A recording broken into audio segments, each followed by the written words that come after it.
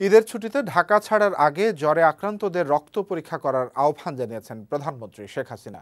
London থেকে ফেরার পর গণভবনে প্রধানমন্ত্রীর সাথে সড়ক পরিবহন ও সেতুমন্ত্রী ওবায়দুল কাদের সাক্ষাৎকার করতে গেলে তিনি একথা বলেন। দুপুরে ধানমন্ডি বত্রিশ নম্বরে সাংবাদিকদের একথা জানান ওবায়দুল কাদের। এ সময় ডেঙ্গু মোকাবেলায় সরকার সার্বক্ষণিক কাজ করছে বলেও জানান তিনি।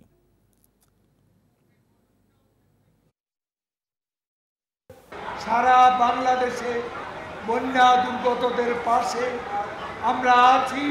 ডেঙ্গু জ্বরে আক্রান্ত মানুষের পাশে আমরা আছি। চব্বিশ ঘণ্টা আছি, প্রতিনিয়ত আছি।